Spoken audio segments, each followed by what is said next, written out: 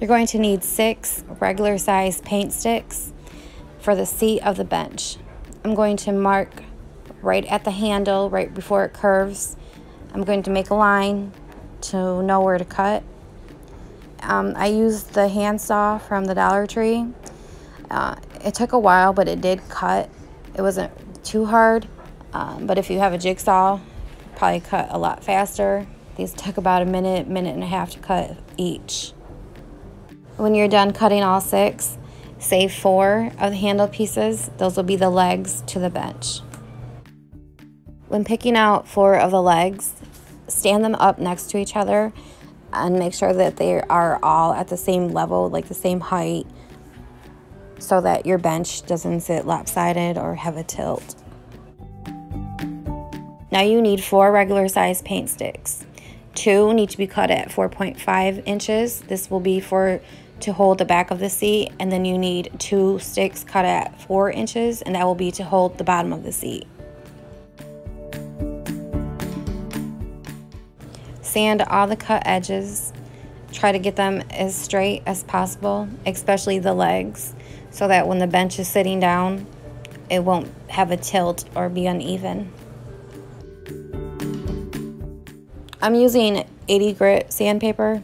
Um, you can use something a little higher, uh, but this did work good. There were a couple places where I needed it to sand really good, sand it down. So um, if you have 80 grit available, I would recommend using it. Labeling your sticks isn't necessary. I just found it easiest and was more organized with knowing what sticks were to what.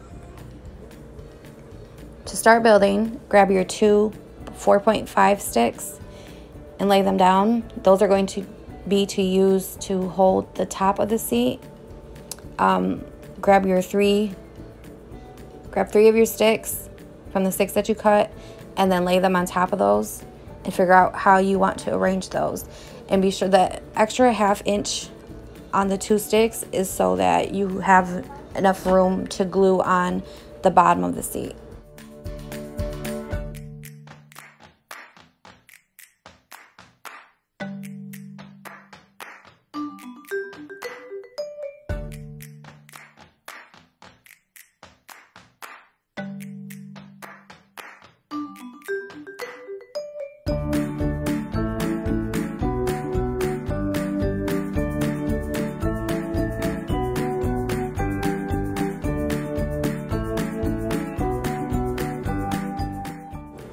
I'm going to use two glues.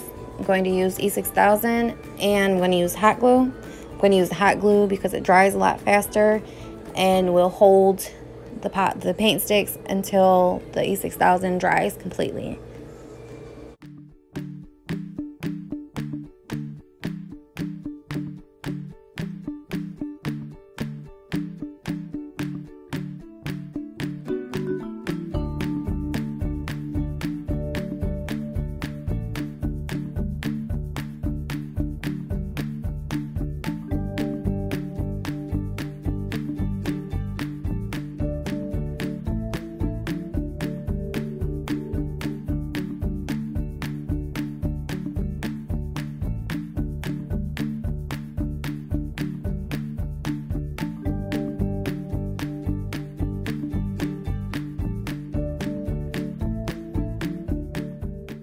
When gluing on the bottom of the seat, be sure to hold it in place for a good 30 seconds to give the hot glue some time to dry.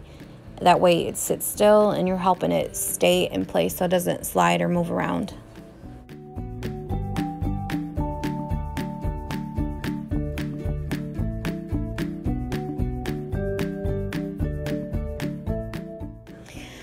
After it's glued and dried, use some extra glue, hot glue, E6000 to enforce it, especially if you're going to be using um, heavy stuff on it, like flower pots or signs. Um, I did, I used extra glue, E6000 and hot glue, and mine is super sturdy.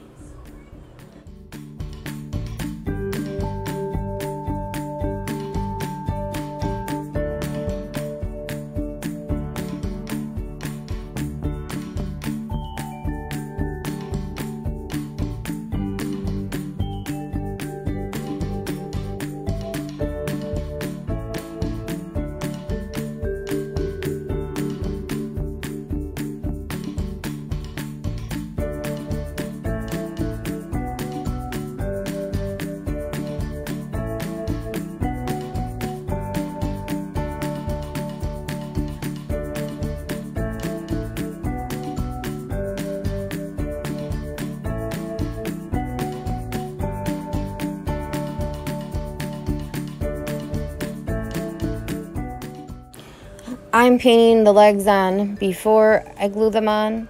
There's no specific reason. I don't know why I was tired and I got ahead of myself. Um, but if you want to, you can paint the legs before. You can even paint all the sticks before. It's up to you.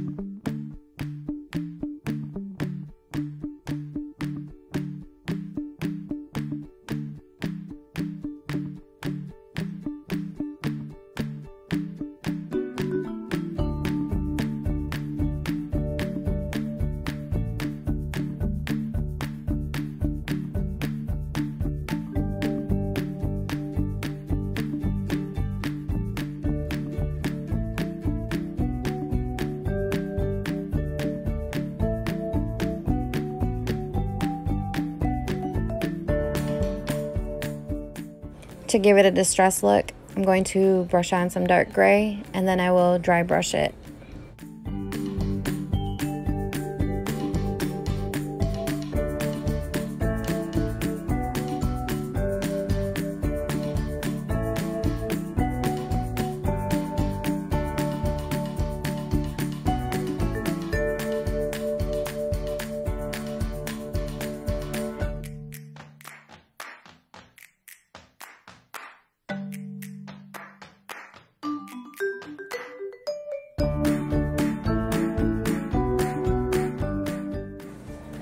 Don't forget to add some extra E6000 around your legs.